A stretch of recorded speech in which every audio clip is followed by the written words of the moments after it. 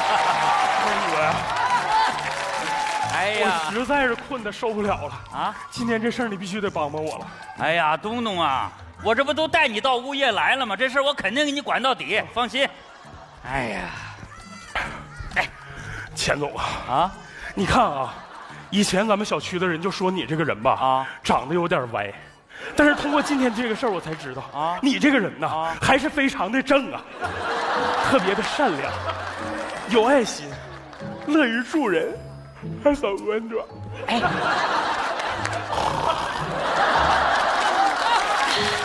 救命！救命啊！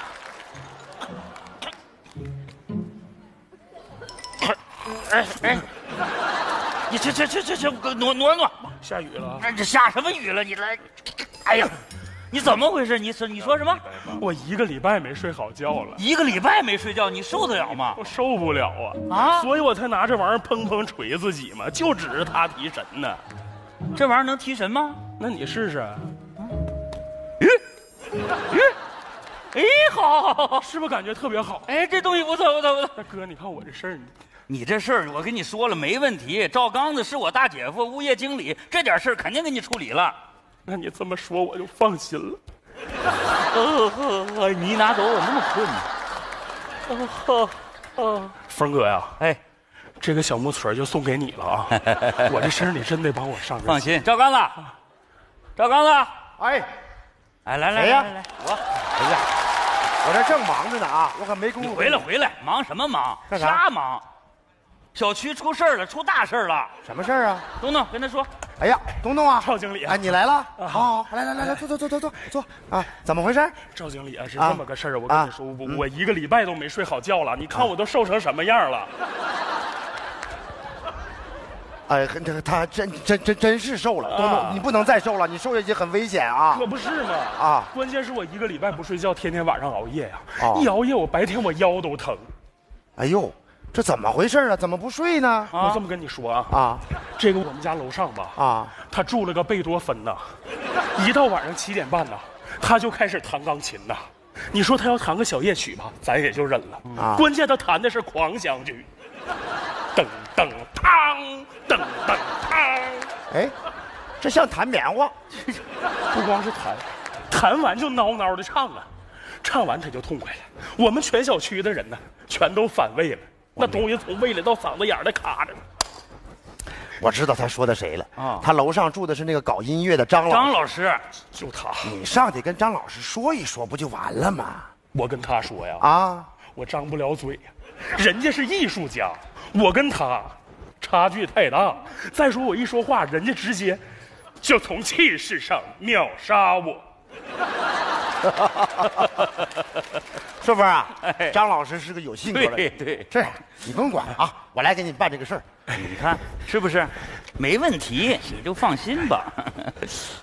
喂，哎，张老师啊，你好，我物业赵刚子，你现在有时间来一趟物业吗？啊，行，好好好，我在这等着您啊。哎，赵经理啊，你可不能给他打电话呀，你千万不能让他过来呀。他要过来，那我就得走了。明白，东东，你你走吧，交给我就行了。行，这事儿我就交给你了啊。好了那我先去了。快去吧。赵经理，谢谢了啊。好的二哥，再见再见，回去吧。是不是？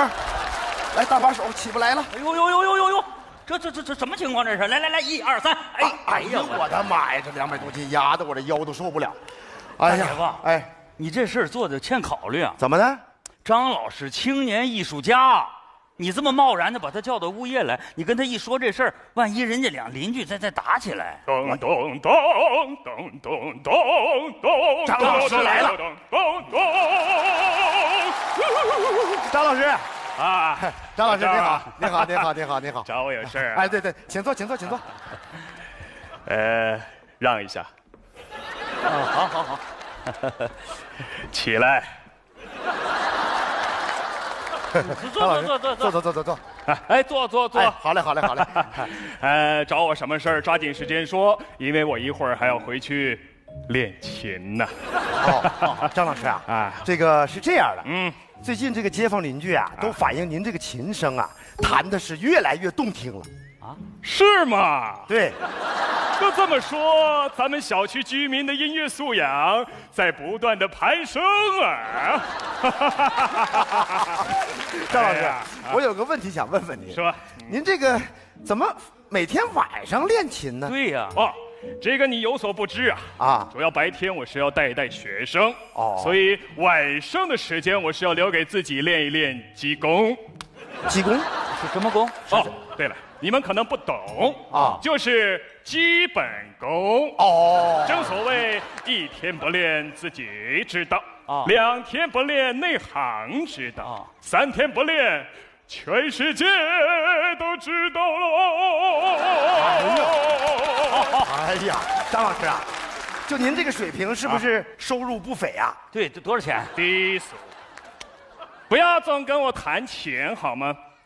像我一般呢，都是在五星级酒店给国际友人以及我们的同胞们演奏。哦一般都是两百万块，而且演出结束之后，大家还意犹未尽呢。哎呀，张老师，太好了 啊我就想跟你商量这个事儿。哎说您看您晚上回来以后，能不能再加演一场？哎，什么意思？是这样的，嗯这个街坊邻居啊，都非常喜欢听您的演奏。哦他们商量了一下，只要是能听到您音儿的这几家，大家凑一凑，一场呢给您两，给您二十块。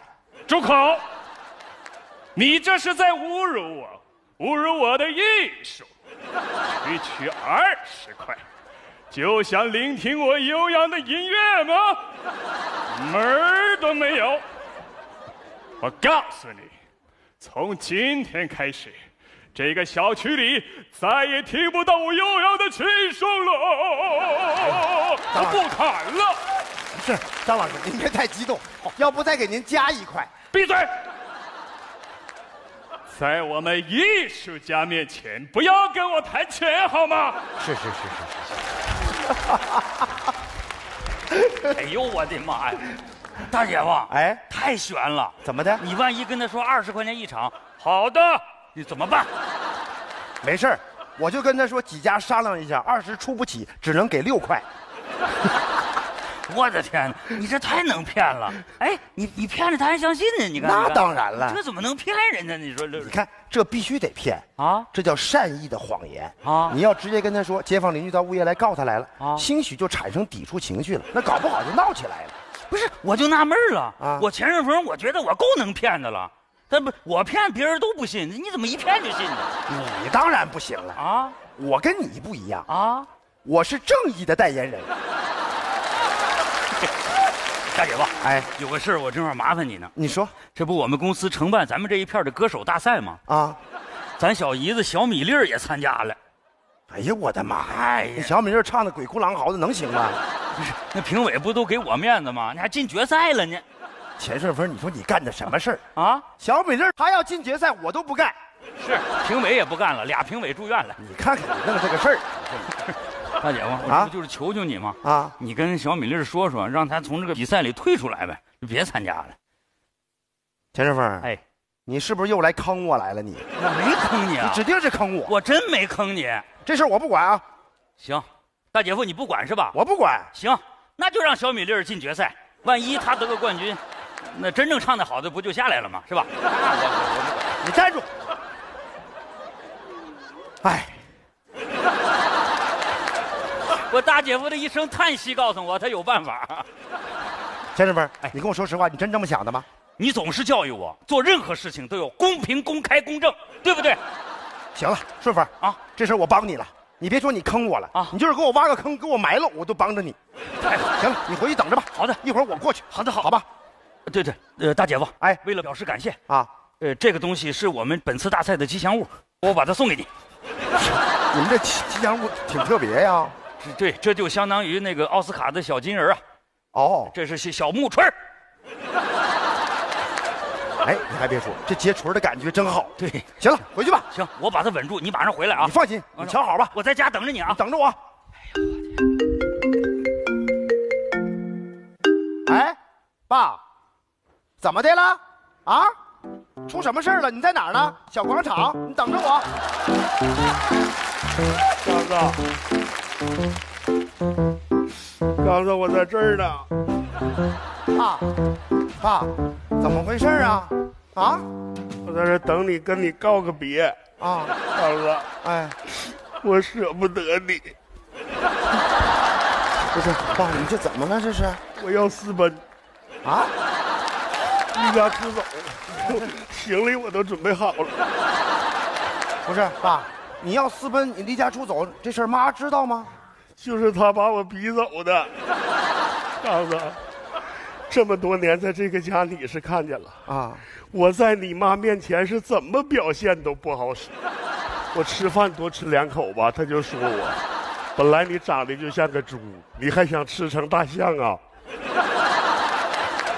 我一寻思，人家这么说了，下顿咱就少吃两口吧。他又说我嫌他做的饭不好吃了，刚子，我算明白了，我在他面前怎么表现都不行了，哪怕我在他面前温顺的像个猫，他都得嫌我掉毛啊。妈，我说你跟我妈呀，这一辈子吵吵闹闹的，你坐我走了，你别，你控制一下情感，来啊，你跟我说说，今天到底又为了啥呀就？今天早晨，我说老伴儿啊，你给我十块钱，我脖子疼，我要买两贴膏药。你猜他跟我说啥？啊，他不但说我装病，还说我骗他钱。那你脖子到底疼不疼啊？不疼啊，你不疼，你跟人家说疼干什么呀？我就是想让他在乎在乎我。哎呀，我的妈，这么不受重视，我走了，我走了，刚才我我再爸，见你别走，行李没拿呢。对，没有这行李我也走不远。来，拉倒吧，有这行李你也走不远，帮我背上来。还帮你背，就这玩意儿放兜里就完了，还弄个双肩背，你这，爸，你干什么呀你？我跟你说啊，嗯你不知道，其实我妈心里边想的可是你，是吗？真的。你看今儿早上一起床就啊嘱咐我说，你去上街给你爸买个小锤儿，让他捶捶脖子、捶捶肩，这就不疼了。你看，这是你妈让你给我买的啊？对呀、你拿的钱。不是我妈给的我的，五十块钱，这么说，你妈心里还有我，有五十，一出手就是五十。嗯。老伴儿，我误会你了，我对不起你。五十啊，你说你往我身上还投这么大的巨资，有这个必要吗？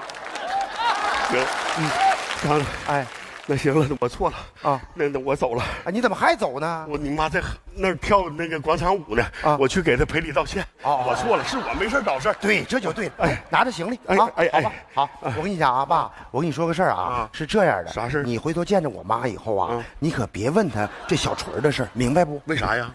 我妈她不是，她不是。啊，我明白了，明白。你妈要面子，对你放心，这事儿我保证不说行。不但这事儿不说，下半辈儿别说给我整的，他就给我整秃噜皮了，我啥都不说了。行，爸，你别说啊。啊，不说。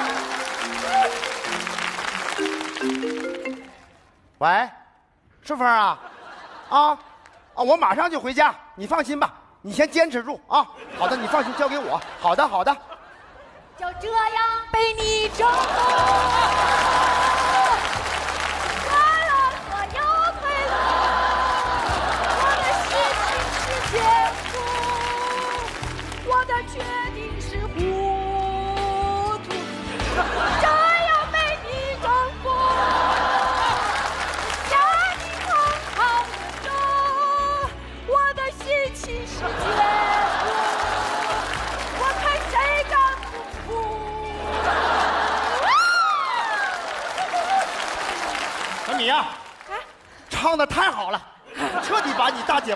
了。是吧？好好好，唱得好，我才回来。来，大嘴巴，哎你看我有没有爆红未来亚洲歌坛的潜质？我觉得亚洲是挡不住你，你唱完以后，整个宇宙就崩溃了。小米啊，我看这样，必须参赛，必须拿冠军啊！好嘞。我让你把他弄下来，你还鼓励他。别着急。你别着哎，急大姐夫，哎，现在还需要低调啊啊还不知道怎么回事儿呢，竞争还是很激烈的嘛。哎呀，我发现小米成熟啊来来来，小米你坐这儿。啊我跟你说个事儿啊，啊知己知彼，百战不殆啊对吧？你现在跟大姐夫说一下，就这次比赛呀、谁对你能够产生威胁？啊，啊，要说威胁呀、嗯应该算胜利小区那个王小红吧。她吧跟我的水平呢，呃，反正也就不相上下哦，王小红，啊这个王小红我还真听说了。啊！你认识啊？对这个人说是唱的不错啊很有实力。啊，你知道吗？我听说他是个单亲家庭长大的孩子。哦他这个已故的妈妈呀，就是一名歌手。他这回参加比赛唱歌呢，就是要唱给他妈妈听，要慰藉他在天上妈妈的心灵。哎，等会儿，大姐夫，哎不对呀，怎么？我看每次王小红来参加比赛，都是他妈妈带他来的呀。那就是他爸爸走了。他是唱给他在天上的爸爸听的，慰藉他爸爸的心灵。哦，啊，我跟你说呀，小米啊，而且我听说王小红这孩子呀，为了唱歌可吃了不少苦了。他们家呀，把所有的希望都寄托在这次大赛上了。哦，大姐夫，哎，我听你这么一说吧，啊我觉得他特别可怜。你说，我要是就这么把他给比下去了，我是不是有点太残忍了？哎呀，我觉得也是哈。而且我跟你讲，王小红跟你确实没法比，她就会唱歌，她只有这一条道。对，你就不一样，是吧？你看，咱小美丽大学生是对吧？会服装设计，在咱们小区那是一流，头子对吧？会模特，咱们小区也是一流。冠军，还跟你二姐夫一起做买卖，虽然你没挣钱，你二姐夫都挣了钱了，是吧？啊，是这样啊，我跟你讲啊，他之所以挣钱，是因为你在后边用这种经商的智商在支撑着他。对吧？你看我也这么觉得，我就觉得他智商不如我，是不是？对英雄所见略同，是吧？哎，大姐夫，啊我就觉得吧，啊，我特别特别有经商的天赋。哎，顺风啊，哎，就我突然的感觉啊，啊就咱们家小米，小米长得特别像一个商界精英，你发现了吗？你好好看，对对对，长得特别像马云，什么呀？别胡说，马云是个男的，我说的是女的，商界精英女的，董明珠，哎。哎，特别是这块特别像，我偶像啊，董明珠。哦，大姐夫，哎你说我能成为董明珠第二吗？你不会成为董明珠第二，啊，你就是你，啊，你是米粒儿猪。大姐夫，哎你说我要经商，我我是不是真的能行啊？小米呀、一定行，绝对能经商。对对对他是个经商奇才。是，你就试想啊，小米，在不久的将来，你成功了，你已经是大的企业家了。这个时候，各地电视台都在采访你，长枪短炮的对着你。在这个场面，突然有一个人说：“那个，你知道吗？啊，他过去呀、是个业余歌手，哦，啊，参加过一个比赛，是个社区的比赛，虽然拿了冠军啊但是那个投资方啊是他二姐夫，哟，那是走后门啊，挺磕碜的。但是你不在乎这个事儿，谁说我不在乎啊？我不能胜之不武啊！二姐夫，哎，我决定了，啊，我要退赛。哎呀，你现在退赛，那评委那儿我不好做工作呀，不是二姐夫，哎呀，这这个太难了，顺风，哎，为了咱们小米经商的这个这个前途，你克服一下。对，二姐夫，你就为了我的荣誉去说服一下评委吧。我去你放心吧，我干就完了。好的，好嘞，谢谢二姐夫。从今以后，我就不再是小米粒儿了，我是米粒儿猪。哎呀，好，好，好，好，好，好。哎呦，大姐夫，哎你可太能骗了，还米粒儿猪新品种啊！来来来，别过来，嘿，说明白，这个东西是你妈给你五十块钱让你给我买的吗？爸，你看你去问我妈去，我不是不让你问我妈吗？我还问什么你妈呀？一出去我就碰见那个胖东东了。他说这个东西是他白给钱顺丰的。好啊，爸，我就问你，你现在跟我妈关系怎么样？老恩爱了，那不就完了吗？大姐夫，哎，你这个骗子！你刚才说谁是米粒儿猪呢？啊，我看你才跟你说，小米呀、我是觉着呀，这次比赛你去不合适。你看，赞助商是你二姐夫，你就是参赛了，有什么意思？你想想，没意思，我不参加比赛了。哎，这就对了。二姐夫，哎，你借我两百万，两两，你干干什么？我要经商啊！你还是参赛吧。讨厌那么抠的借我两百万，你两百欠可以借人家两百万我给你人家是商界奇才。对，我觉得哎咱弟弟哎回来了。牛牛回来了。啊，爸爸，哎我做完比赛成绩下来了，哦我拿了一等奖。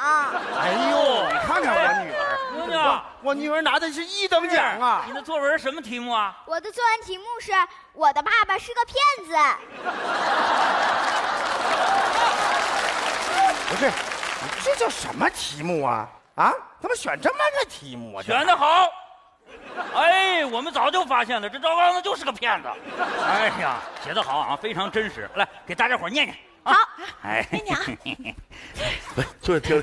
好，好好念啊，大骗子，听好了。我的爸爸是个骗子，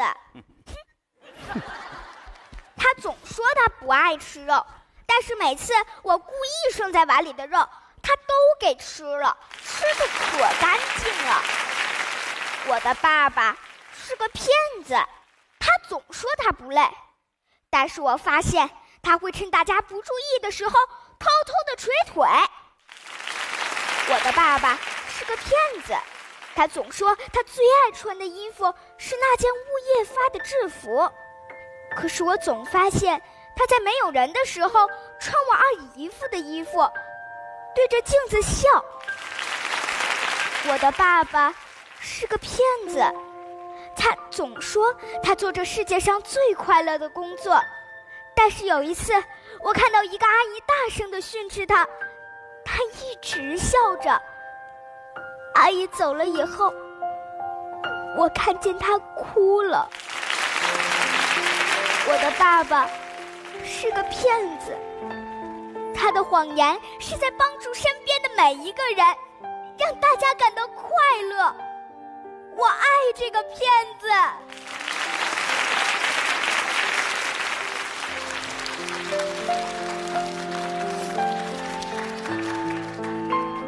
孩子，我发现你也是个骗子。你怎么在爸爸不知不觉中就突然长大了呢？爸爸爱你。